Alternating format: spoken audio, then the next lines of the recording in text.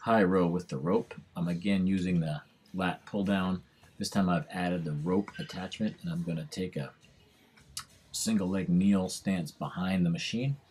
and I'm going to grab an overhand grip on the rope and again like most pulling movements I'm going to lean back slightly with my upper body